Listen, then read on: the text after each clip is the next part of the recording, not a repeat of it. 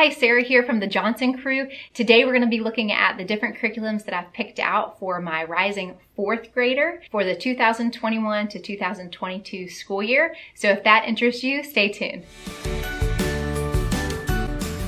Hi, welcome back to my channel. If you're new here, my name is Sarah and I have four kids from the ages of nine to two. And so this year I'll be homeschooling the three oldest of them and we've been doing it since the get-go. I kind of struggle from curriculum FOMO. So when I pick new curriculum, it's not always that we didn't like what we used the year before. It's just that I'm so interested in trying what all is out there. So uh, if you struggle with that as well, uh, you're not alone.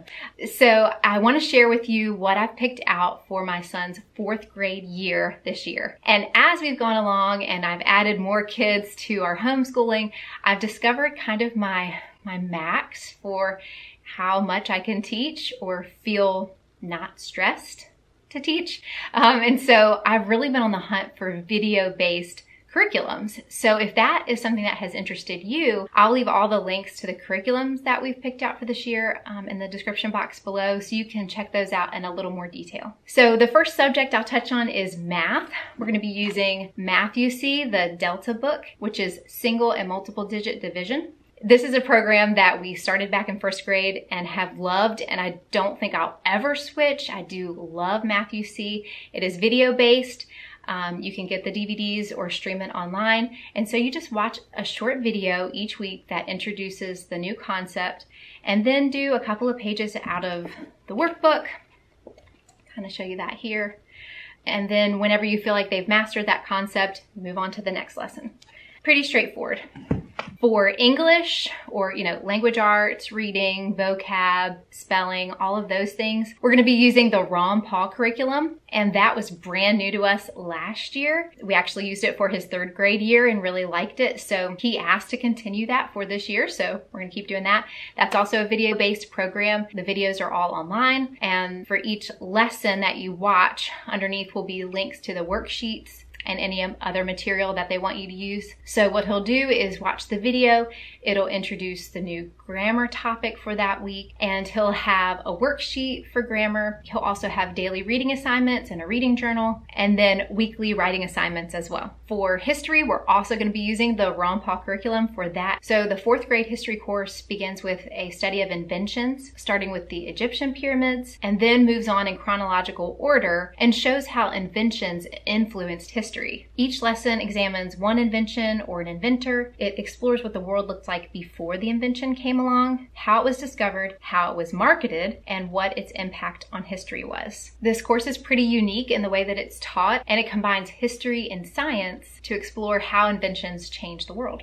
And it also helps teach the basic principles of entrepreneurship, which my husband and I are entrepreneurs. We run our own wedding photography business, so I really love the idea of more teaching on that for our child.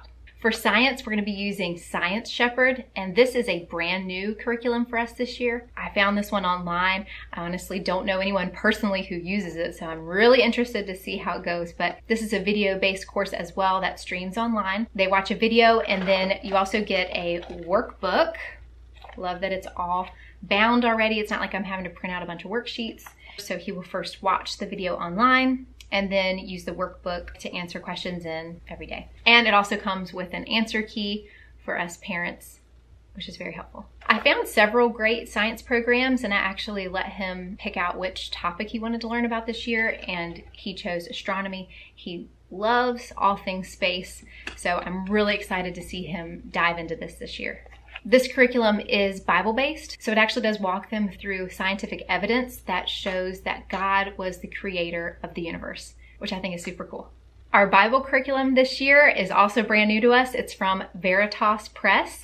It is also a video-based program. We chose the Genesis to Joshua course for this year, which covers 32 events between creation and Joshua's last words. We ordered the flashcards that go along with it. Show you some of these.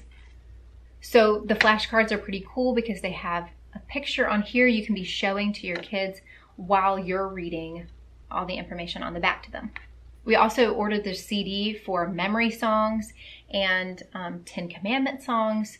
Really excited about this. you know, songs are such a great way for us to memorize information and keep it locked in there forever. So I'm really excited to see how these go. And then the last thing that we got from them is Bible maps. So it shows you a map of what it looked like in Bible times, and then you flip this over and it shows you what that map looks like in present day. Pretty cool.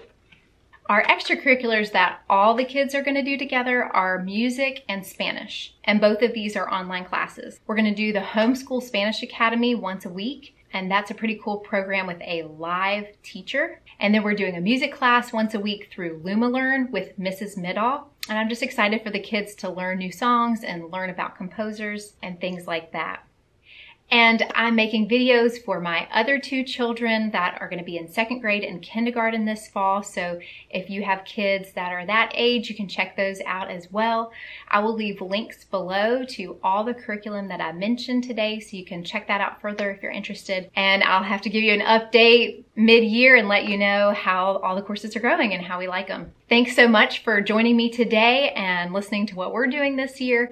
I'd love to know what you're doing this year if you've picked all or some of your subjects out so far, uh, drop those in the comments below. It's super fun to be a part of this homeschooling community here on YouTube. If you're not a subscriber already, go ahead and click that subscribe button below and join us all here every week.